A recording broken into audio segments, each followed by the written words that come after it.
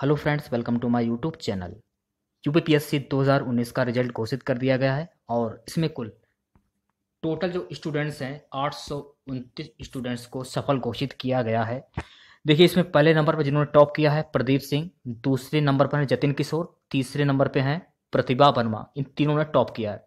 फिर से बता रहा हूँ, पहले नंबर पर है प्रदीप सिंह, जिन्होंने टॉप किया है। दूसरे नंबर पर है जतिन किशोर और तीसरे नंबर पर है प्रतिभा वर्मा, जिन्होंने टॉप किया है। इन सभी लोगों को दिल से बधाई।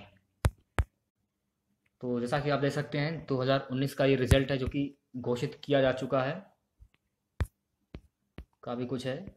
ये रोल नंबर वगैरह हैं, जिन स्टूडेंट्स को सफल घोषित किया गया है, उन सभी लोगों के ये रोल नंबर है।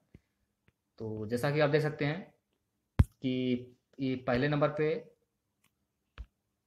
प्रदीप सिंह, जतिन किशोर प्रतिभा वर्मा, ये तीन नाम मैंने आपको बताए थे, जिन्होंने टॉप किया है, ठीक है? प्रदीप सिंह ने इस बार टॉप किया है यूपीपीएससी के एग्ज़ाम में।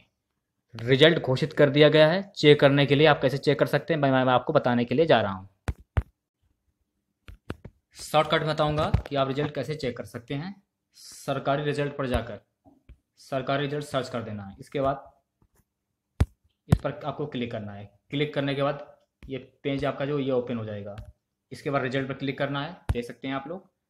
UPPSC civil services I S final result इस पर क्लिक करना है। क्लिक करने के बाद ये पेज ओपन हो जाएगा। तो रिज़ल्ट चेक करने के लिए जैसे कि आप देख सकते हैं download download I S final result इस पर आपको क्लिक करना होगा। तो आपके सामने एक पीडीएफ आ जाएगी, इसे डाउनलोड कर लेना है। तो पीडीएफ आपके सामने आ जाएगी आ जाएगी पूरी की पूरी पीडीएफ और आप अपना रिज़ल्ट चेक कर सकते हैं। ओके तो आज की वीडियो में बस इतना ही। जिन सभी बच्चों का सिलेक्शन हुआ हो उन सभी बच्चों को हार्दिक बधाई।